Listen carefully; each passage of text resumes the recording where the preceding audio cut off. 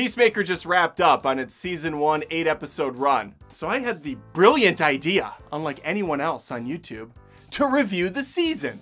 Yeah, we're doing crazy things over here. Subscribe. First thing I need to point out is that introduction to Peacemaker, that song, the dance choreography, perfection. I have to have an uncomfortable fight with my wife every time we watch the intro. She wants to skip it. Because she hates joy? Because she hates fun? I guess that's why she married me, but still, I love this introduction to the show. I, it's so bonkers, it's so off the wall. Everyone's uncomfortably dancing, just serious as all hell. You got villains and heroes mixed in together. It, it's it's so James Gunn. And that's the big takeaway that's either a turn on or a turn off for people. James Gunn has a very specific type of humor. Frat level is being generous. Dick jokes constantly. Vag jokes for good measure. Every character in this show drops F-bombs so often you would think it was required for living which is a negative I have about the show, but let me first talk about everything that works. And mind you, I really love the first season of Peacemaker. James Gunn's kind of made a name for himself from films like Guardians of the Galaxy for having great music in his films. Peacemaker continues the trend with hair metal bands. A good chunk of them I've never heard of. I don't know if they're one-hit wonders from back in the 80s or 70s, or if these are brand new up-and-coming hair metal bands. Obviously, there's a Cinderella thrown out for good measure. We get House of Pain in there. There's some awesome tracks. Usually with the TV series, I'll find one or two characters that really annoy the hell out of me. Not in this instance. Peacemaker has a good chunk of varied characters that are all likable in their own ways. Even those that are just miserable, awful people, you can find something to kind of latch onto and appreciate about them. Although they are varied, they they look different. You got lesbians, you got freaking racists, you got you got like the whole spectrum of people. The one main thing they have in common, which is a problem in the writing department, is they all talk the same. They all swear constantly. They all have these smart-ass quips to throw at each other, retorts just on hand, ready to go. They get in weird conversations that ultimately don't go anywhere. They're kind of like Quentin Tarantino-esque in that fashion. They don't progress the plot any. They're just kind of observations on the side.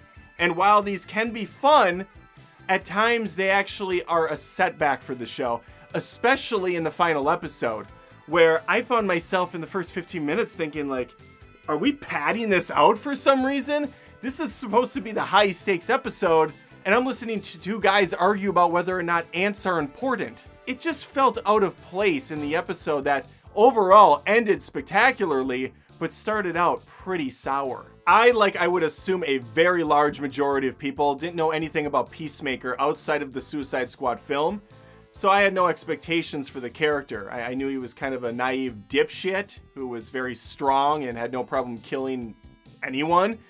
But the way they broke him down, the way that we jumped into his psyche and learned things about his past, it really made for a compelling character. And I loved the growth he had over the course of just these eight episodes. And I know this has been greenlit for a second season, so I'm glad that it wasn't fully closed. Although at the same time, I am a little bit disappointed James Gunn went with the ghost dad trope that we've seen so many times. Thankfully, it's not used often, but I have a bad feeling that if we get a second season, we're gonna see a lot more of that. We even have famous superheroes show up later that say some things that are very out of character from what's been established previously. And I saw online some people were pissed off by who showed up and who didn't, more specifically. I don't blame James Gunn, that's a Warner Brothers decision. The whole DCEU is a mess, in my opinion. I don't know what the hell they're doing. I don't think they know what they're doing. They got rid of Snyder, clearly, but they're kind of treating Snyder like an ex-girlfriend that they once in a while hook up with, and it's really hot and wild and raunchy, but they know it can't last. They know that they're not good for each other at the end of the day. The other thing I really liked about the show was the unbridled violence. I, I love the bloody gore. I like that limbs get chopped off. I like that James Gunn's not pulling punches here and he's just going for broke. Outside of John Cena's fantastic performance, I got to give it up to Eagly. Eagly's the MVP of this. That CG eagle is beautifully rendered, and he's got a heart of gold. Constantly trying to make Peacemaker happy. Vigilante, aka Adrian Chase, is another standout. He was so good. I like that he just doesn't give a shit. He will kill anyone and anything in his path. Unlike Peacemaker, who has developed over the course of the show and has a bit of a conscience to him, Adrian Chase doesn't give a shit. He's just all in. He also has a really bizarre code of honor that's completely fucked. He'll shoot two people just for witnessing him do something, but those same two people that he's told not to kill, he'll treat very humanely afterwards. So he'll be very respectful and make sure they're not hurt. The frantic shaky cam action worked really well, especially when you know there's choreography going on. James Gunn still pulls back enough so you can see what's happening on the screen. I never felt lost or confused because the camera was falling on the ground to mask the clearly ugly choreography. It's there.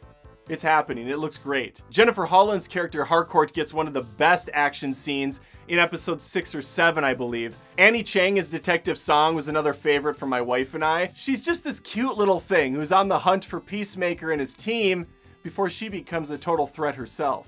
While some of the dialogue can be sloppy at times, what Gunn always gets right for me is the heart and soul of his properties man, when this thing ends, I'm feeling a lot of things for all these characters. I'm scared that someone's not to pull through. I'm happy when another one does. And I have a whole mixed bag of emotions when that final shot pulls away. It's just a great show all around. While it's not perfect, it's easily one of the best superhero TV shows I've seen, and it's just a damn fine show all around. If you have seen it, let me know in the comments what you thought. Like the video if you had a good time, and make sure to subscribe as I put out lots of movie and television content here. Since you stuck around, maybe also think about joining me on Patreon at patreon.com slash adamdoesmovies. I'm a one-man operation here. I do all this stuff by myself, the writing, the filming, the editing. I'm very passionate about this hobby, but it's very tiring all the same, especially since I have kids and a full-time job to boot. So if you could do anything over there, that'd be great. You can also join right here on YouTube via that YouTube join button. So there's a couple ways to say, hey Adam, I like what you're doing. Keep going. Here's a dollar. Here's 10 bucks. Keep it up. Keep it up. And I will.